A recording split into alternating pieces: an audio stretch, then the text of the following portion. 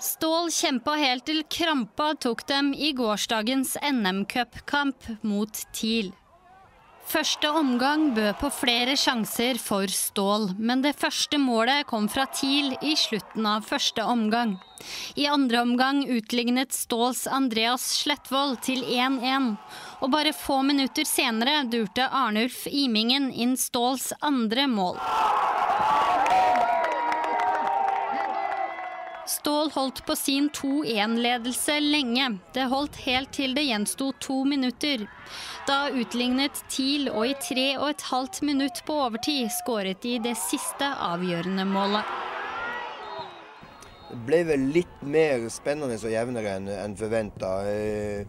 Stålkameratene greip begjærlig muligheten når, når, vi slapp oss nedpå der i første omgang. Og, nei, unnskyld, i starten av andre omgang. Og, når de fikk målet sitt, så, så, var de dyktige der. Og jeg må si at jeg var imponert over Skjoldkameratene. De visste at det var et godt fotballag, men de spilte veldig god fotball. Nei, akkurat nå så føles det jo litt uh, surt og bittert at vi ikke klarte å holde hele veien inn. Men uh, alt i alt om å få litt på avstand, så er det en kjempeprestasjon av laget. og Vi ryster tippeligalag, men uh, det er klart akkurat nå så føles det litt tungt at vi ikke klarte å holde hele veien inn.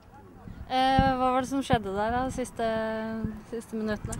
Nei, Du kan se at Tromsø har ligget på hotellrommet og slappet av hele dagen. mens vi kommer rett fra jobb og møter halv fem på spillermøte og rett på kamp. og Det er klart at eh, det blir litt tungt på slutten. Samtidig som at, eh, at vi er i tredjedivisjon og de er i tippeligaen. Det tar jo ut sin rett på slutten.